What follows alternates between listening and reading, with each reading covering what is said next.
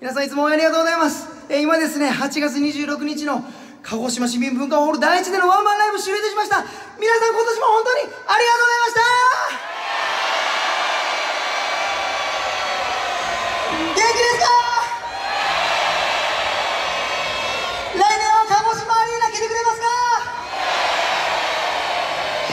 来年は5人ずつ連れてきてくれるということでありがとうございます。やるやつ皆さん夢だけど夢じゃない。いきますよ。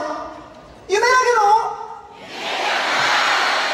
2000人ほぼ満員御礼ありがとう。